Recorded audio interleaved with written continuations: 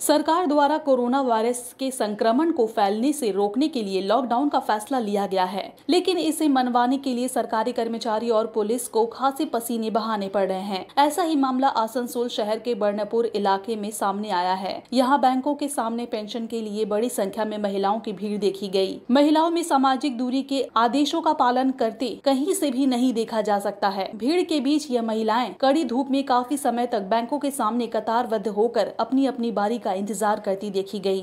इस तरह एक साथ इनके जमा होने के बाद कोरोना का संक्रमण फैलने का खतरा और भी बढ़ जा रहा है।